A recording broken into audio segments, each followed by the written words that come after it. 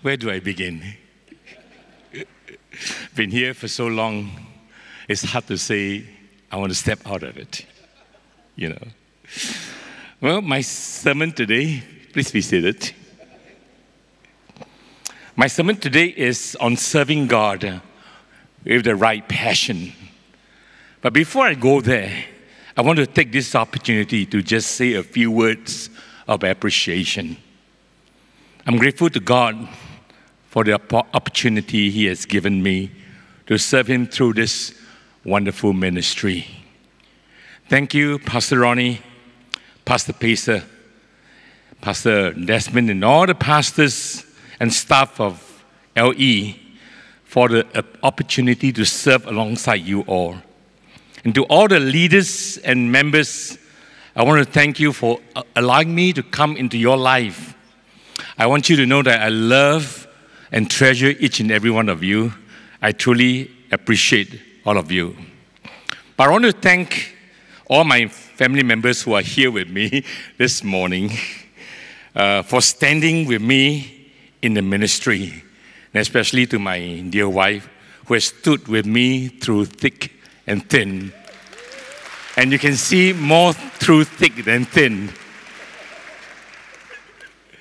And to this great Lighthouse family, I want you to know that my retirement is not a cessation of service to the Lord. I know that God still have much for us as a family to do. And I'm still very much of this family, very much a part of this family. I'm mindful of something that William Booth, the founder of the Salvation Army, said some time ago and I believe that all of us would want to emulate what he said. This is what he said. Or there remains one dark soul without the light of God. I will fight. I will fight to the very end. As long as there's one dark soul that remains without the light of God, I will fight. I will fight to the very end. Beloved, we are called for this purpose and for this hour. The word is ours to take. Jesus gave us the mandate to go into all the world and make disciples of all nations. And we have declared that we want to be light of Christ everywhere we go. And this is what we must strive to do all the time. And thank God for this year of intercession that we've all called to pray.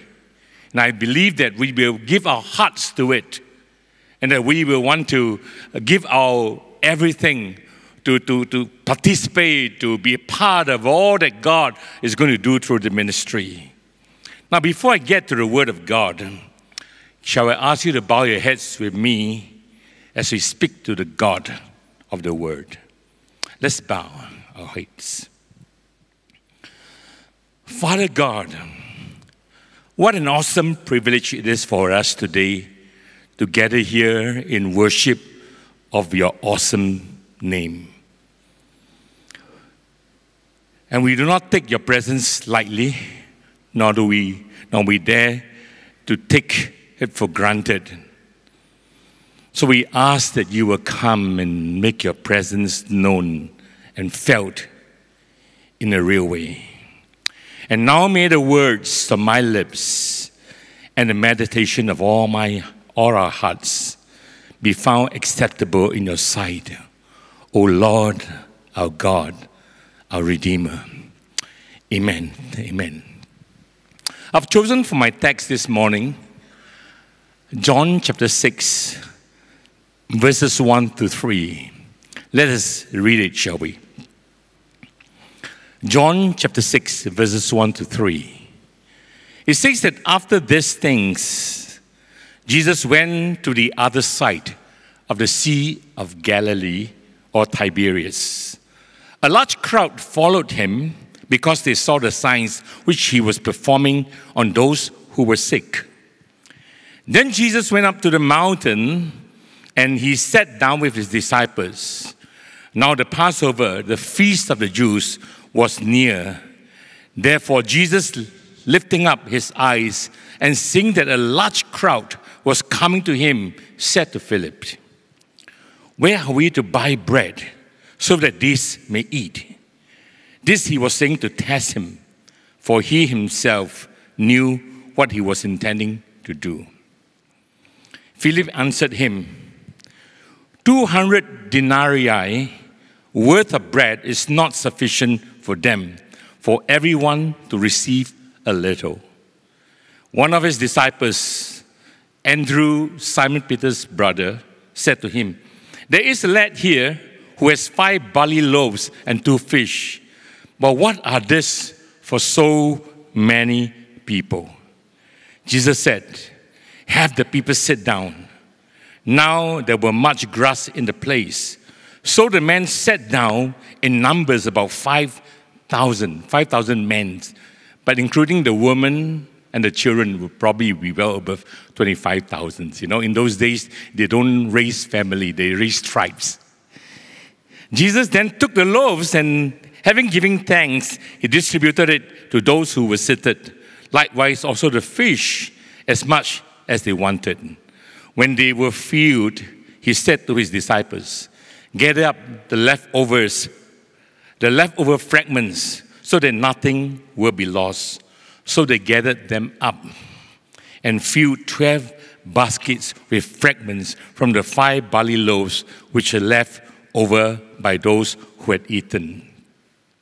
Now, if you know the drift of John's gospel, you will realize that he used the word signs to denote the miracles of Jesus.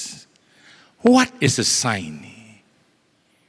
In John's gospel, a sign is a miracle of Jesus with a message. And John make no bones about this. In the last verse of the Gospel of John, he said this, and there were many other things Jesus had done. If every one of them were to be written and recorded in details, say, even if there were all the books in the world that were written about it, he said there could be no place to store them. But then in, in John chapter 20, verses 30 and 31, John tells us that he had chosen a few of the miracles that Jesus had done, seven in total. Seven miracles Jesus had done. And he said that I chose this, have them recorded, so that you can be inspired to believe that Jesus is the Son of God. And believing in Him, you will have eternal life. Now, what was John saying?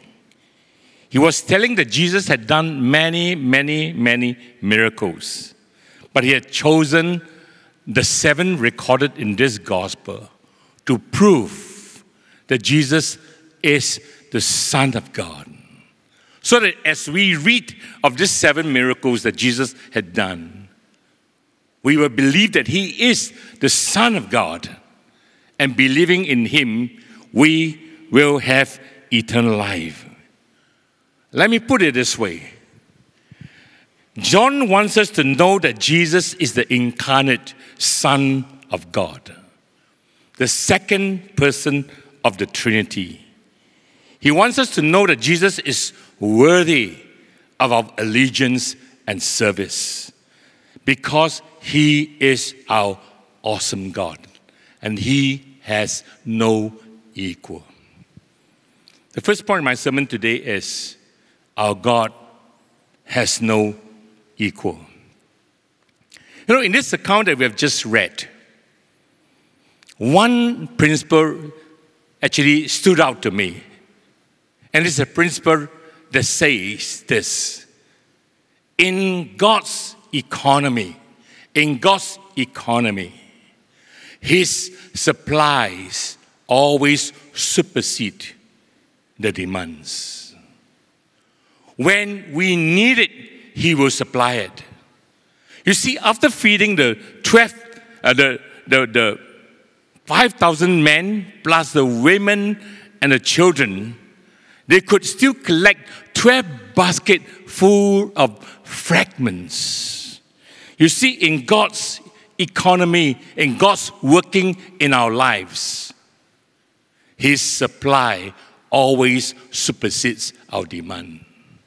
That's the reason I believe Paul could boldly declare and said, My God shall supply all your needs according to his, according to his glory, his riches in glory by Christ Jesus. And indeed, God will supply all our needs. But of course, apart from this principle that his supply always supersedes the demand, we see three other things that will help us to see that Jesus has got no equal. The God we serve has got no equal. Firstly, in Jesus, we have a God in whom there is no problem too big for him to solve. There is no problems too big for God to solve. In this passage, we are told that a large crowd followed Jesus to where he was because they saw the many healing signs that he had done. And when Jesus lifted up his eyes and saw the multitude, it said, he knew that they had not had anything to eat since following him.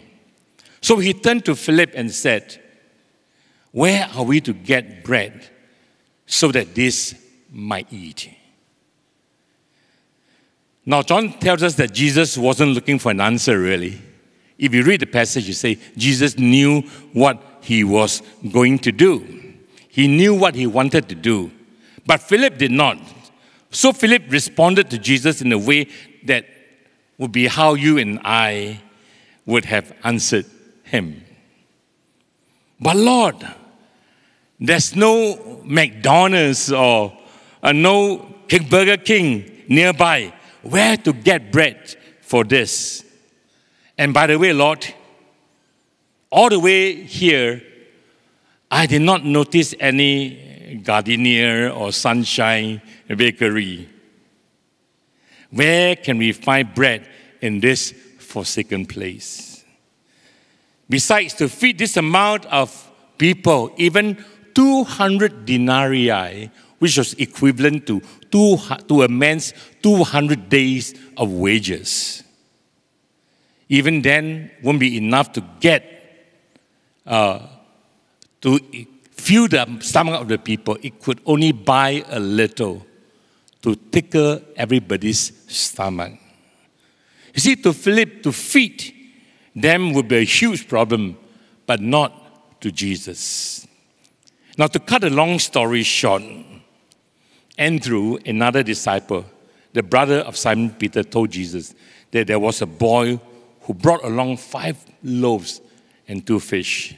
So Jesus used them to feed the multitude. When each of them had taken and filled their stomach, there were still 12 baskets full of segment. God's supplies always supersede, if not equal, the demands. You see, there's no problems too big for him to solve. Personally, this has been my experience. I remember the very first paycheck that I got from the, from the church was $40. The treasurer came up to me. It, of course, I want you to know it's not in Lighthouse, okay? It was in a very small church then. And the treasurer came up to me and gave me $40 and said, Pastor, uh, this is your one month's pay.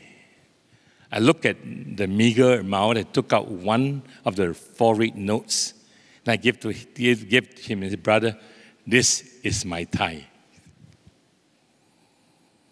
When I walk away from him, I can still recall very vividly the anxious feeling that I had inside of me.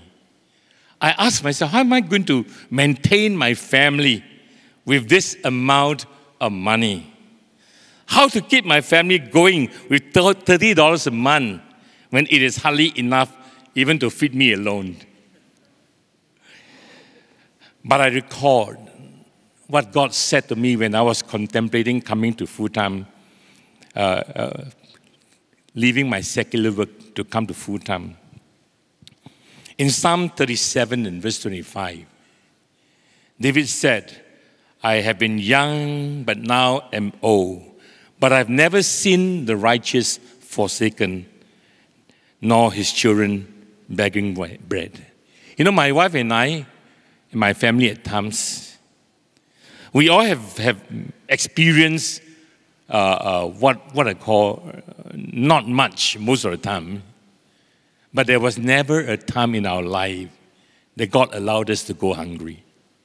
He always prepared because His supply always is always uh, greater than the demands. I, I want to share with you an account, you know. On one separate occasion, I remember struggling with, with, with the whole issue of finance. And I took a trip to KL, Kuala Lumpur, and there I met uh, Pastor Vernon Falls. Pastor Vernon Falls had a, had a training program in KL called the School of the Spirit. And he invited me to teach a class on praise and worship in his school. So I gladly agreed, and I did not share with him nor anyone about my struggle at that point. But before the class uh, started, uh, he, he gathered all of us in his, in his office, all those who were teaching that night. And then we had a time of prayer.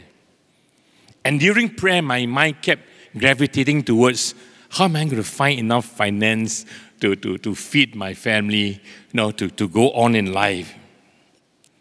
Anyway, we, we just went on praying. And after the prayer, I, I walked out of the office and was about to make turn the corner to go up the stairs to the classroom where I was supposed to teach. And then I heard him sticking, uh, he heard him calling for me. His head was stuck out of the, of, of the classrooms, uh, of the office. And he called to me, Hey, Brother Clarence. Of course, then I paused, then I looked back. And he said, uh, uh, Margaret asked me to tell you this. The Lord says not to worry about the money, I'll take care of it. And I was wondering who, who told him that or who told her that. I've not shared this with anybody else of my, of my struggle. And here, God, through one lady whom I've not met, I tell you until today, I've not met Margaret, Vernon Fall's wife, who had a word from the Lord about taking care. But I'm, I'm, I'm, i would be quite candid with you. Over the, all these years, I have never had anything lacked. God made, God made sure that I have all my needs met. There is no problems too big for God to solve. Secondly, in Jesus, we have a God in whom no person is too small for him to use. No person is too small for him to use.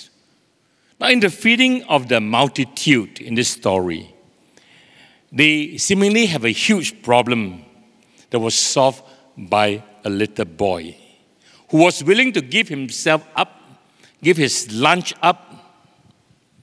Andrew, Simon Peter found him brought him to Jesus. And Jesus said, No, you're too, too young. You're too small.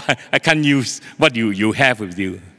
Jesus took whatever was offered, multiplied it, and used it to meet the needs. There is no person too small that God will not use. But this morning, I suspect that many of us may have been using age and inexperience as an excuse for not serving God. Of course, by age, I, I mean not just uh, the, the physical age, I'm also talking about your spiritual age. You may be old, but you, can't, you just recently gave your life to the Lord, and, and you, you say, No, I, I, I'm too young. You know. But I want you to know the Lord wants to use you. Now, in this year, the year of intercession, I tell you, the leadership wants everybody, young or old, experienced or not, to be a part of this, this program to intercede for what God wants us to do. We only have three things to pray for this church, to pray for the churches in Singapore, and to pray for our nation, isn't it?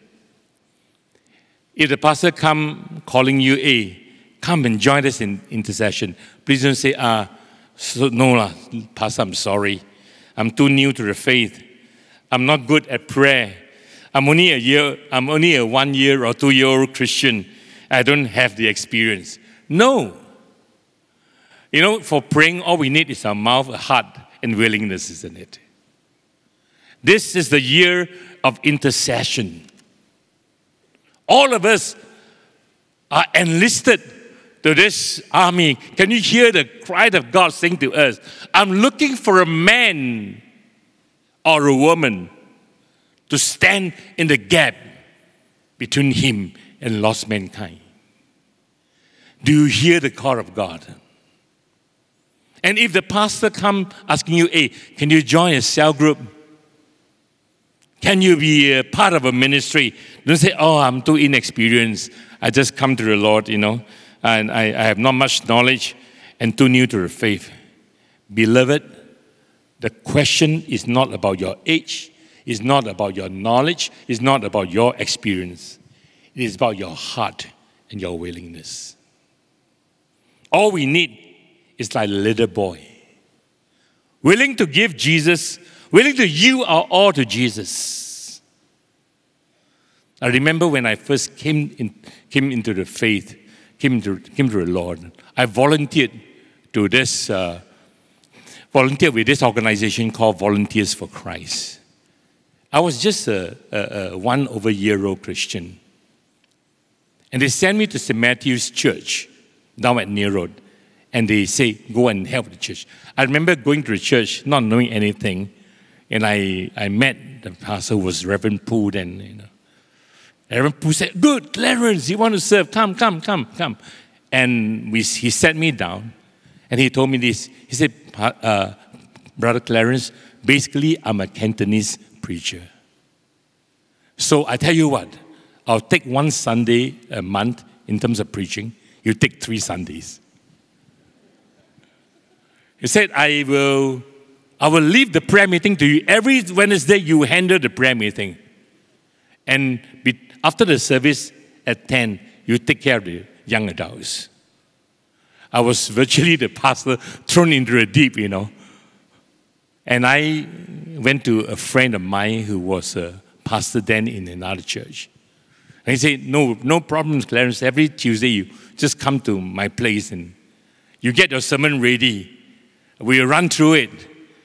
So every Tuesday I was at his house. We ran through what I've written, and then Sunday I preach it. Well, all we need is willingness, regardless of age, whether in faith or age in our physical uh, or physical age. There's no person too small that God will not use. I want to particularly emphasize today that please don't give the excuse that I can't pray. This is the year of intercession. We all can pray. We all can say something. We can pray for the church. If we feel a part uh, uh, of this church, feel a part of what God is doing in our nations through the churches, we want our nation to be prospering we all can pray. We need a revival. We need everyone, young or old, to be a part of this prayer. So there's no problems too big for God to solve, and there's no person too small for God to use. And then, thirdly, in Jesus, we have a God in whom no gifts, no gifts is too insignificant for Him to multiply and minister to life. There's no gift. You cannot say, I have no talent. I, my talent is so insignificant.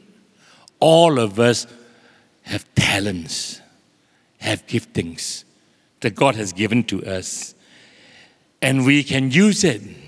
No, you know, in this account, in this account, we saw how Jesus used the offering of a boy insignificant loaves of barley bread. You know, I heard that barley bread, barley loaves, was the, the lowest grade of bread in those days.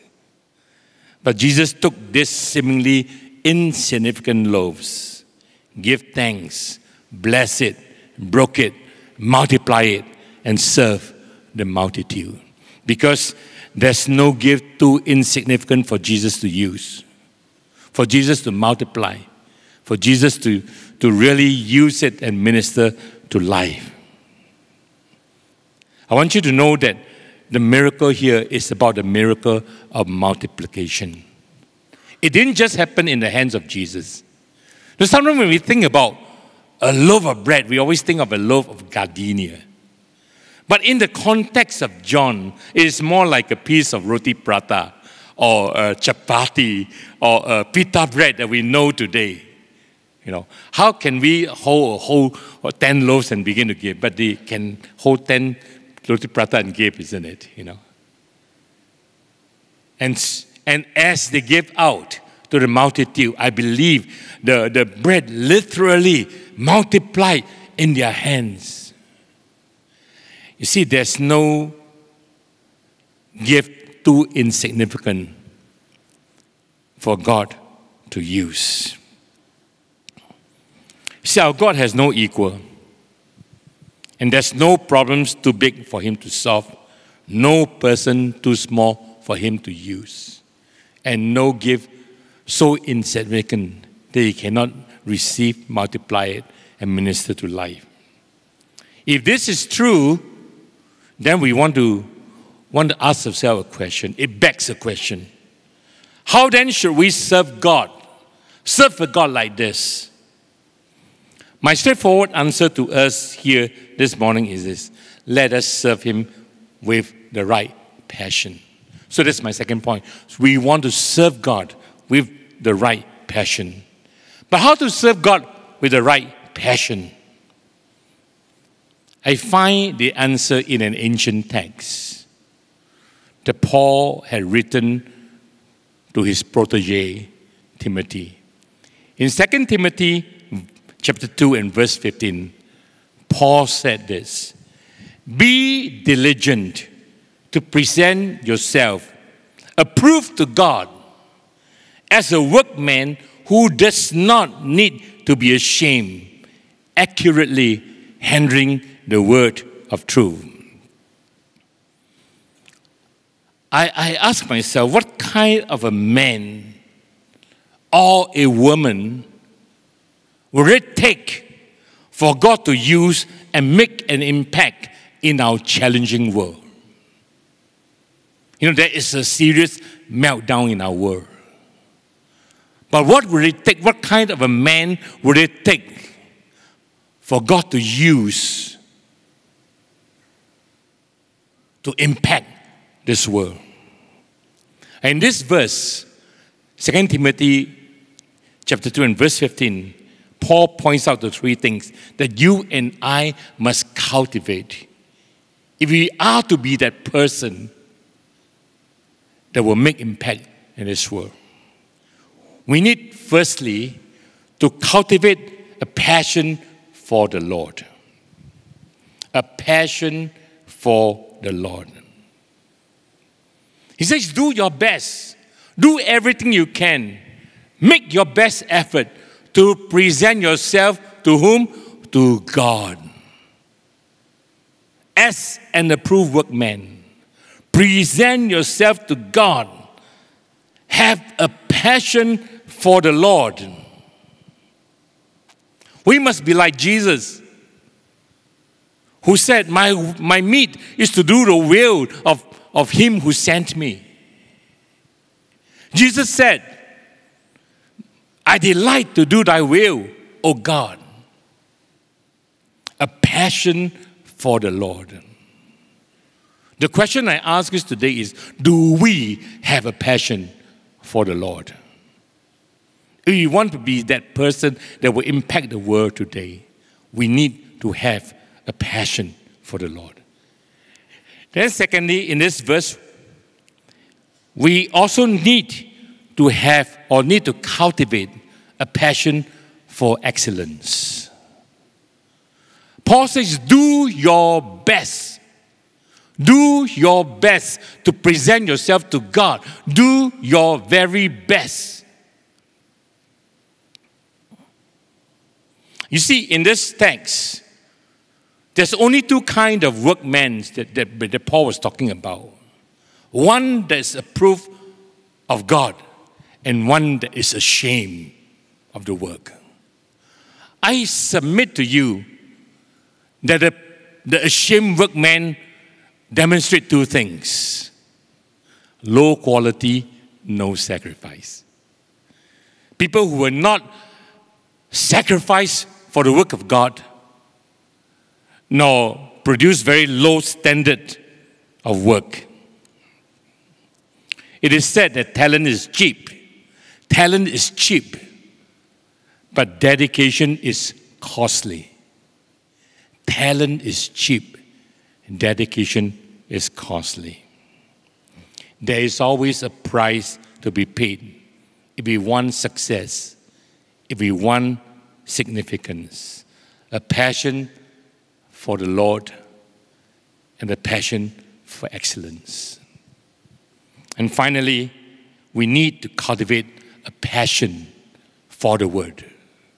Do your best to present yourself as a workman to God and not an ashamed one, rightly dividing the Word of truth. Have a passion for the Word of God. You see, in, in this the way he, he the way that the, the, this, the sentence is structured, and in the original language, handling, rightly handling the word of truth. It, it, it has, is very picturesque in a sense. It's like, uh, uh, like you are in a mountainous area and you, you, you use something, use a tractor or something to cut, yourself, cut through for yourself a straight path so that you can come to where you want to come to. Cut for yourself a straight path so that you can arrive at the destination that you want. I propose to you that to be handling the Word of God rightly is talking about accuracy and clarity accuracy in interpreting the Word of God, and clarity in presenting the Word of God. Do your best to understand the Word of God, interpret it rightly. Because you see, I, I always maintain this, this, this position that our application of the Word can only be as accurate as our interpretation of it. When we interpret the Word wrongly, our application will be wrong. So we need to handle the Word of God rightly, have an accurate interpretation of the Word. But we also need to present it clearly. So we need to cultivate a passion for the Lord, cultivate a passion for excellence. We need to cultivate a passion for the Word. I want to leave for us three very useful questions, I believe, so that at the end of each day, perhaps we can take this question and ask ourselves. The first question is the Lord well pleased? In my life, is the Lord well pleased? Second question Is the work well done? Is the work well done? Thirdly, is the word well lived? Is the word well lived? So, is the Lord well pleased? Is the work well done? Is the word well lived? I want to invite you to stand to your feet together with me as we go to the Lord in prayer. We're going to take a few minutes. I want you to take a few minutes in this time. Would you talk to the Lord in a personal way? Dedicate yourself to Him.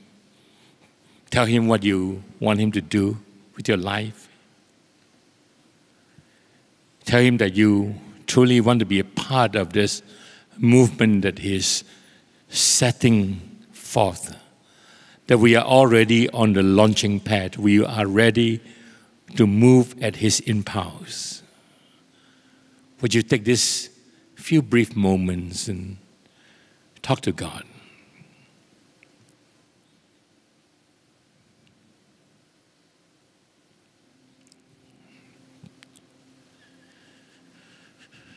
God our Father, for all that you have done for us,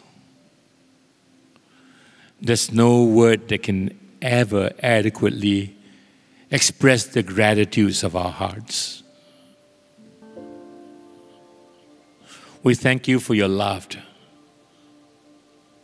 We thank you for your invitation to work with you. We recognize that our calling into this kingdom of God is not just to touch it, but to enlarge it. We are called into this ministries in Lighthouse Evangelism, not just to be sitting on the pews or on the seats, but to be a vibrant participant of the work that you have assigned to this ministry. God, will hear your mandate to be the light of Christ everywhere we go. And we hear the mandate for this year to be intercessors for Christ. Lord, we dare not take this mandate lightly because we know that ultimately we have to come before you and give an account for what has been assigned to us. We want Lighthouse to to fly, Lord. But more importantly, we want your kingdom to fly. We want the churches in Singapore to thrive. We want this nation to be protected and that we will have the peace of God in this nation for us to continually do the work of God. Lord, this is our desire. We want to see the name of the Lord lifted high.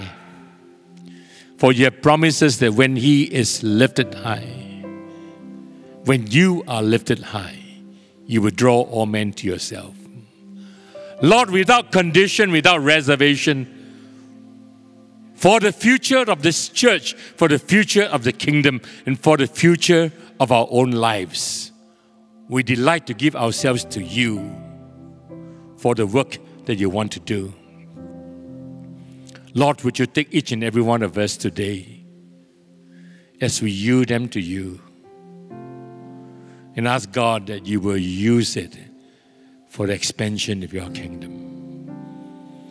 May the kingdom of God, as Jesus taught us to pray, come on earth as it is in heaven.